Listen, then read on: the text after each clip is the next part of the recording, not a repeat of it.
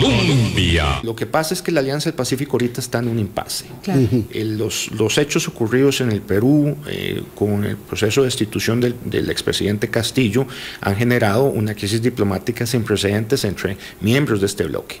Al día de hoy, Dos de ellos, México y Colombia, siguen reconociendo a Pedro Castillo como el presidente legítimo del Perú. Chile reconoce el gobierno constitucional actual de la presidenta Duarte, mm, no, no, no están muy contentos tampoco, pero reconocen que el proceso eh, fue un proceso legítimo, constitucional.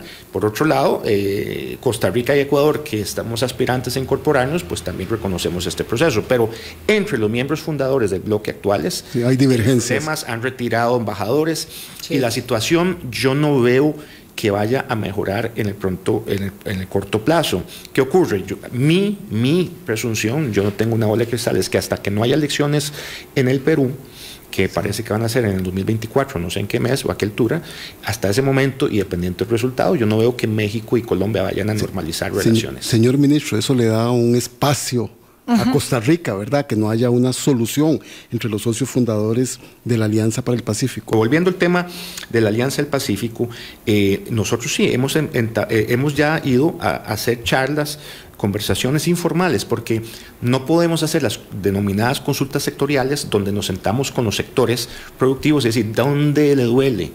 ¿Qué es su interés defensivo? ¿Cuál es su interés ofensivo? Hay otro que dice, yo quiero exportar, yo quiero la alianza, pero eso no lo podemos hacer de una manera formal hasta que las negociaciones arranquen. ¿Y cuándo van a arrancar? No lo sé. Eh, coincido con, con don Boris en que ahora pues hay un compás de tiempo que nos va a permitir, por un lado, eh, que el MAG pueda avanzar en la ejecución e implementación de esa política agropecuaria que tiene elementos muy importantes como el reglamento de agroquímicos que se, que se, que se publicó hace unas semanas, eh, el tema de fondo de avales, eh, el tema de innovación. Colombia.